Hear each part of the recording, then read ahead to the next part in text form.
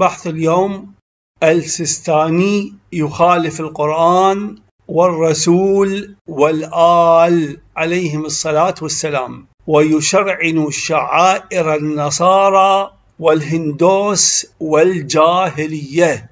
السستاني يخالف القرآن والرسول والآل ويشرعن شعائر النصارى والهندوس والجاهلية.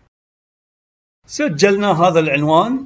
المرجع السستاني يجهل النهي والحرمة ويشرعن بدعة ومعصية اللطم والسلاسل والإدماء والطقوس.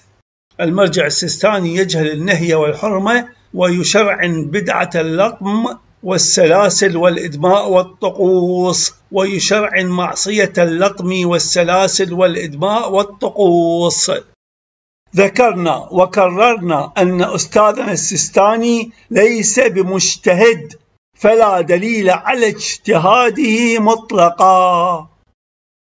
ذكرنا وكررنا أن أستاذنا السستاني ليس بمجتهد فلا دليل على اجتهاده مطلقا لكن لم يخطر على الذهن أنه بهذا المستوى من الجهل والتهافت والاضطراب والانحلال. قلنا بأنه ليس بمجتهد. كررنا هذا القول والكلام. هو أستاذنا لكنه ليس بمجتهد.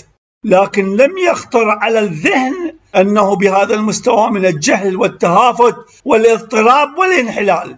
ويحتمل جدا جدا ويحتمل جدا أن يكون السستاني عاجزا ذهنيا أو ميتا حقيقة أو سريريا. يحتمل جدا جدا جدا أن يكون السستاني عاجزا ذهنيا أو ميتا حقيقة أو ميتا سريريا. لكن الإعلان عن حقيقة ما هو فيه يحطم تجارة الأبناء والحاشية والمنتفعين.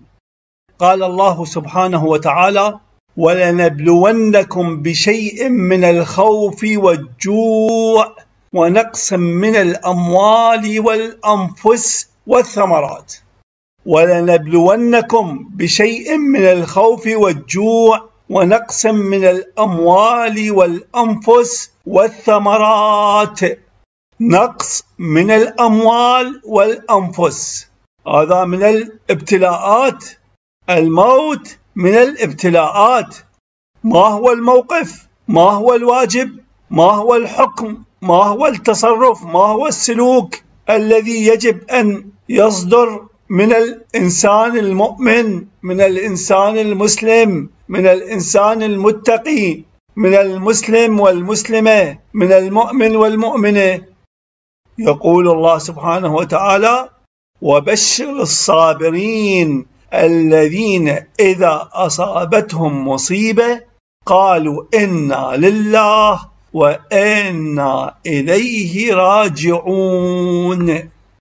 وبشر الصابرين الذين إذا أصابتهم مصيبة قالوا إنا لله وإنا إليه راجعون. أولئك عليهم صلوات من ربهم ورحمة وأولئك هم المهتدون. أولئك عليهم صلوات من ربهم ورحمة وأولئك هم المهتدون.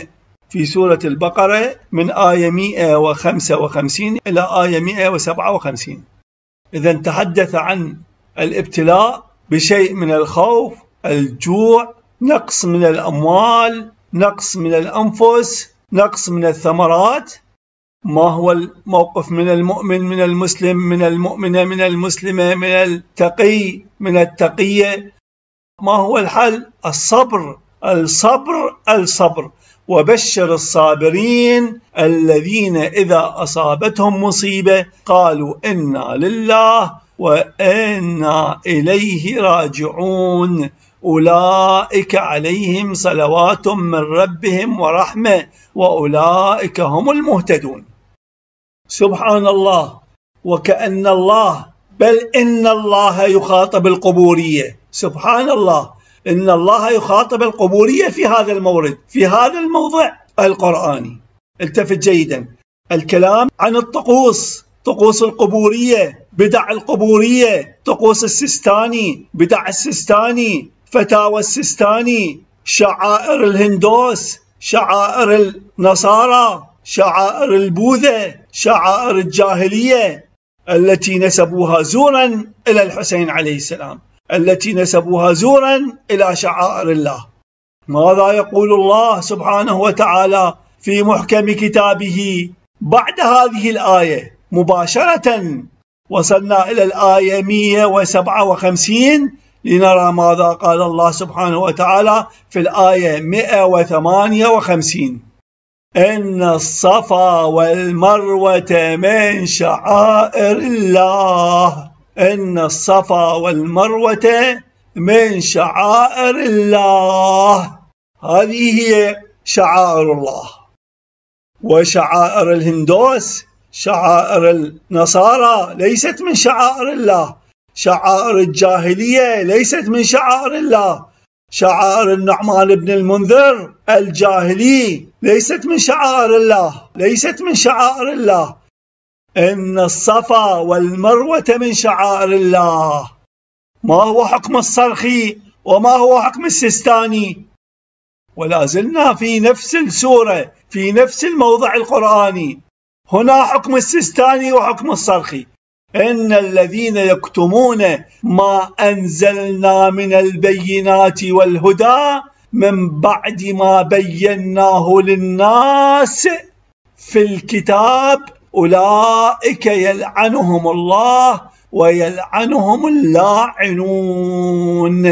أن الذين يكتمون ما أنزلنا من البينات والهدى من بعد ما بيناه للناس في الكتاب أولئك يلعنهم الله ويلعنهم اللاعنون.